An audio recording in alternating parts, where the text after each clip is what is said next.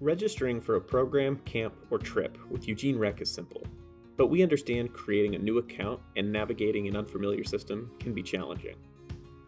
This tutorial will walk you through the entire process, from creating an account to registering to any number of our incredible programs, camps, trips, or classes. Signing up for a program is quicker than ever and uses a system called CivicRec.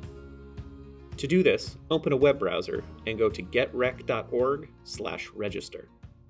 If English isn't your primary language, you can change the language of the system. Click on the Select Language menu at the bottom right-hand corner of your screen and select your language of choice. Once you're set up, find the Login slash Create Account button. A drop-down menu will appear and give you a few options we want to click the button at the bottom titled Create Your Eugene Rec Account. A window will pop up where you'll need to fill in your basic information, including your name, address, and email. Please be as thorough as you can when entering this information. Once you fill out your information, you'll be able to add other family members. We suggest that each member of your household that you are financially responsible for be added to a single account. If you don't add a family member when you first sign up, you can do it from your account page. From CivicRec's homepage, find the Account button located beneath the banner. This will take you to a dashboard where you can see your notifications, upcoming events, recent registrations, and your rental and permit history. Under your name, located on the left, there's a button titled Add New Account Member. When signing up, if you get a notification that says your email is already in use, it means your email is already in our system. Click the Forgot Password option, enter your email address, and you will receive an email to update your password. Now you're ready to explore our catalog. The main page provides a snapshot of everything Eugene Rec offers. You can click on different tabs to explore. Each section will also be conveniently broken down by the type of program. For example, when we click on Senior Activities, you'll see a list of programs appear below. There are multiple ways to find what you're looking for. If you found a program in our Eugene Rec Guide and want to find it in our system, you can search by keyword. You can select just the location you want, and this filters the classes to just those being offered at a specific place.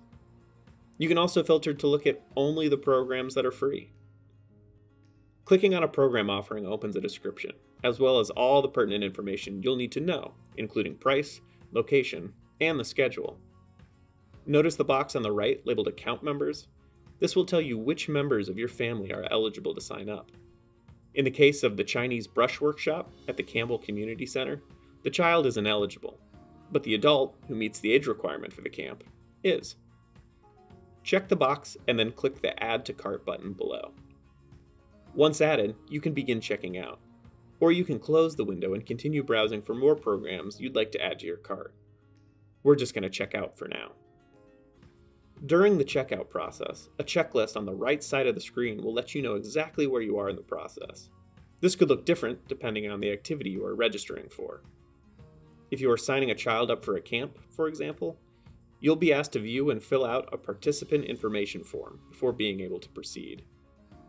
Note that if you have a rec scholarship, the price of the program won't reflect this until the payment screen. After including any attachments, you'll reach the prompts page, these help our staff know if you need support to participate in the program or have a medical concern. Click the green Submit Response button on the right side of the screen to move on to the waivers page. There are two main waivers you will need to sign before moving to payment. The first is a withdrawal slash refund policy statement. Once read, click the button next to I agree. This will open a window for you to digitally sign.